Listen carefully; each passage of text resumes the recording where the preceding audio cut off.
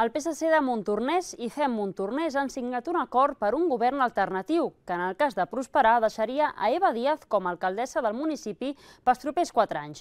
Tot i així, les dues formacions necessiten els vots del Partit Popular, amb qui de moment no hi ha acord dos caps de llista, Eva Díaz per part socialista i Fran Sánchez per part de Fem Montornès, han escenificat davant l'Ajuntament l'acord entre les dues formacions per intentar provocar un canvi després de 12 anys de José Montero com a alcalde.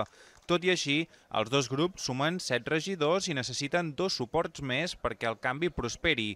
Totes les mirades apunten a un possible suport del Partit Popular en la investidura, tot i que els dos grups han deixat molt clar que aquest no formaria part del govern. No hi ha possibilitat o és molt, és molt difícil un acord programàtic amb un partit com el Partit Popular i per tant no tenim res més a, a, a, a oferir coses com l'oficina antiocupa o baixar els impostos no són acords que nosaltres programàticament puguem acceptar.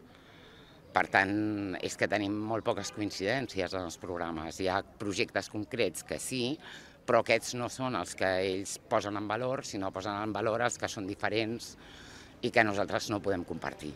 El programa acordat per PSC i Fem un Tornès preveu que la socialista Eva Díaz sigui l'alcaldessa durant els pròxims 4 anys, a més d'un conjunt de 15 acords. És un objectiu i que a Montornès no s'ha fet realitat, no s'ha fet realitat perquè no, no era una prioritat política, que és el centre de dia. Aquest és un d'ells. Uh, Montornès ha de canviar molt en matèries mediambientals. Necessitem una aposta molt forta en polítiques de sostenibilitat i aquest és un grau d'entesa amb el Partit dels Socialistes de Catalunya. Montornès necessitem un parc d'habitatge públic de lloguer.